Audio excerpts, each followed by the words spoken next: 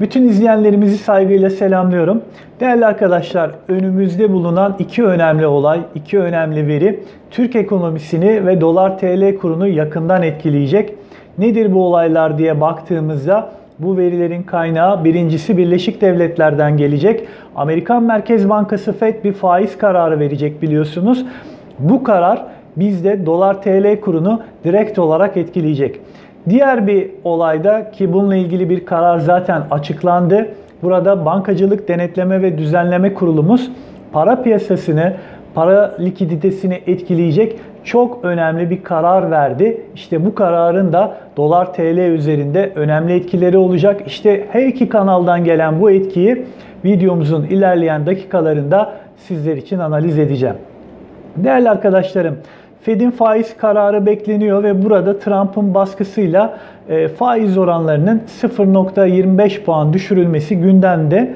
Ancak Birleşik Devletler ekonomisine baktığımız zaman mesela son gelen verilere ben şöyle bir baktığımda sanayi üretiminin Ağustos'ta %0.6 artarak yılın en büyük artışını kaydettiğini görüyorum. Keza e, yine imalat sanayi ile fikir vermesi adına kapasite kullanım oranına baktığımda da burada oranın %77.9 olması ki bu seviye e, Mart ayından beri gördüğümüz en yüksek seviye olarak karşımıza çıktı. Bütün bunlar iyi giden bir ekonomi varken Fed'in faiz düşürmesine gerek var mı sorusunu akıllara getiriyor. Ki sanayi üretiminde arkadaşlar artış beklentisi %0.2 idi ama bunun çok üstünde %0.6 olarak bir gerçekleşme karşımıza çıktı. Kapasite kullanım oranında da beklentimiz %77.6 idi ama gerçekleşme %77.9 oldu. Yani Amerikan ekonomisinde işler yolunda gidiyor. Yani faizleri düşürüp yatırımları arttırmaya gerek var mı? Zaten e, ekonomi kendi yolunda gidiyor. Buna e, hacet yok diye bir şekilde e, piyasada soru işaretleri de oluştu. Şimdi Fed'in zaten 0.25 puan faiz düşürme ihtimali arkadaşlar bir süredir bütün küresel piyasalarda fiyatlanıyordu. Dolayısıyla eğer bir faiz düşüşüyle karşılaşırsak bu dolar TL'de böyle çok dramatik bir düşüş doğurmayacak. Ancak bir düşüş kararı yani faizlerde verilecek bir düşüş kararının da ilk etapta dolar TL kurunda e, kuru 5.60 ve bir ihtimal 5.55 seviyesine getirmesini görmek de bizler için sürpriz olmasın. Ancak burada çok önemli bir ayrıntı var. Şimdi ben 5.60 belki 5.55 diyorum ama burada kurun gerilemesi eğer söz konusu olursa yani bu e, ilk etapta faiz düştü diye bir gevşeme küresel manada yaşanırsa işte burada arkadaşlar verilere baktığımızda yani Türkiye'nin yapısal verilerinde büyümesi, sanayi üretimi, işte perakende endeksleri ki önceki videolarımda bunları detaylı anlattım. işsizlik verileri vesaire, enflasyon. Şimdi burada bir yapısal iyileşme olmadığı için velev ki kur 5.60'a gelse bile arkadaşlar o seviyede kalıcı olamaz. Yönünü tekrar yukarıya çevirir. FED faizleri serbest bırakırsa düzeltiyorum arkadaşlar. FED faizleri sabit bırakırsa daha doğrusu düşüş yapmazsa kurda gerileme görmeyiz. Ancak tüm piyasa bir şekilde 0.25 puanlık bir indirimi bekliyor. Ee, ben bu videoyu hazırlarken e, ayın 17'sinin akşamında Bloomberg terminaline baktığımda 0.25 puanlık düşüş ihtimalini %86, 0.50 olarak da %13'lük bir birikim gördüm. Yani piyasa kuvvetle muhtemel bir 0.25 indirimi bekliyor. Ona göre de hazırlık yapmış. Ancak ancak FED indirim e, yapsa bile dolar TL'yi vuracak dalgayı engelleyemez dedik. Zira bir kez daha altını çiziyorum. Türkiye'nin yapısal sorunları devam ediyor. Bu yapısal sorunlar devam ederken de kıymetli arkadaşlarım her gerilemeyi yatırımcılar bir alım fırsatı olarak görecektir.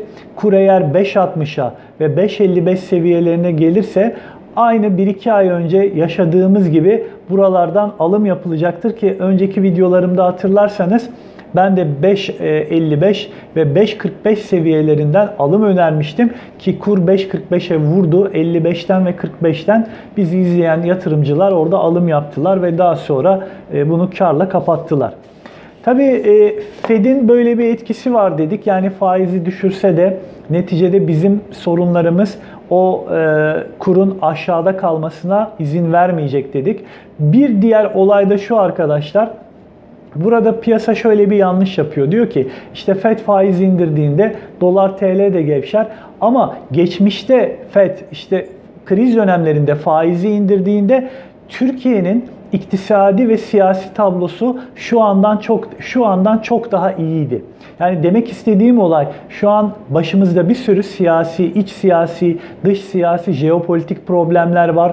Ekonomi resmen çok büyük bir krizin içinde ve çıkamıyor, debelenip kalmış durumda ve kredi derecelendirme kuruluşları da bizlerin notunu indirmiş durumda ülke olarak. E şimdi böyle bir durumda FED faizi indirse bile küresel sermaye sahipleri aman ben Türkiye'ye gideyim demiyor. Çünkü zaten yatırım yapılabilir seviyeden oldukça uzaklaşmış, içinde çok büyük riskler barındıran bir ülkeye gelmek yerine işte Brezilya gibi, Rusya gibi, Güney Afrika gibi, Polonya gibi ülkelere gitmeyi seçeceği için burada Fed'in faiz indirim silsilesi devam etse bile bize bunun çok büyük kurda gevşeme getireceğini ben şahsen düşünmüyorum.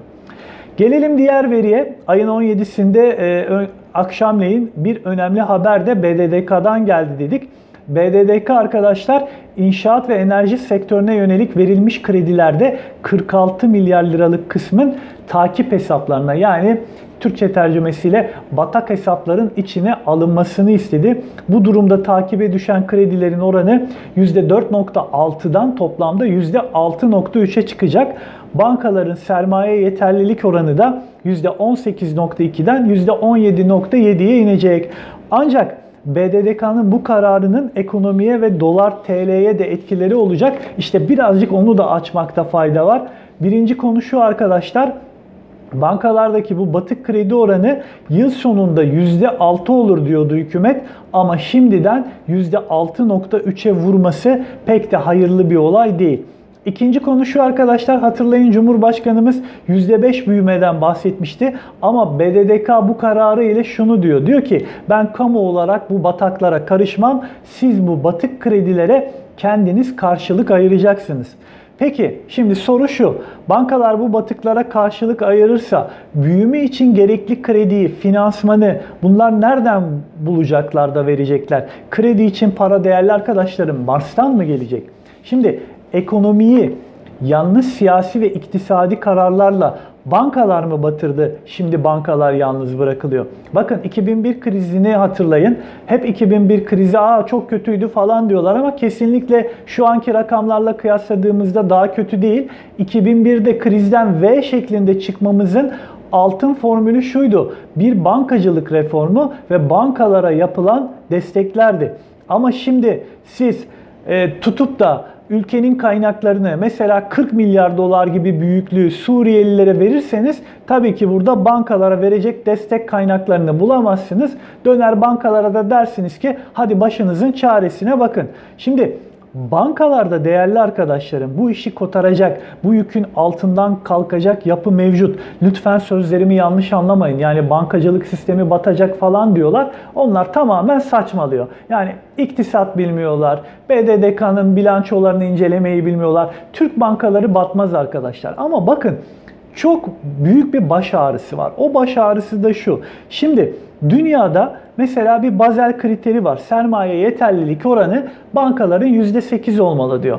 Bizde ise son durumda bu e, sermaye yeterlilik oranı %17.7 şeklinde. Yani dünya kriterinin üstünde batma riski yok. Ama ama geliyorum işte o baş ağrısı kısmına ki bankalar değerli arkadaşlarım böyle bir kıskaç geldiği zaman yani işte bu batığı sen vereceksin dediğin zaman likidite daha da sıkışacak.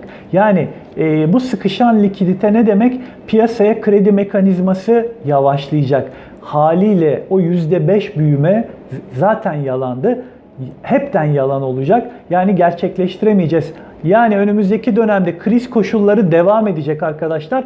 Daha da artarak devam edecek. Çünkü siz bankaları yalnız bırakıyorsunuz. Ve e, değerli arkadaşlarım dedik ki likidite sıkışacak. Peki likidite sıkışırsa burada dolar TL ne olur? Burada dolara talep artar. Dolara talep artarsa da değerli arkadaşlar FED istediği kadar faiz indirsin. Eninde sonunda o kur tekrar yukarıya doğru dönecek demektir arkadaşlar. Diğer bir nokta da bakın Birleşik Devletler'de bu e, batık oranı %1. Avrupa Birliği'nde %3, bizde şu an %6.3. Bu durum şunu gösteriyor. Senin ekonomin iyi değil. Büyük sıkıntılar var ve bu sıkıntılar da reel sektörü fonlayamayacağın için önümüzdeki dönemde de devam edecek. Ve haliyle burada dedik ki kura bir talep gelişecek ve bu kura olan talep de kurun altının üzerine çıkmasını sırayla 6.10 ve 6.24 seviyelerini görmemizi sağlayacak diye düşünüyorum. Netice itibariyle arkadaşlar e, kış bizim için e, bayağı zorlu geçecek.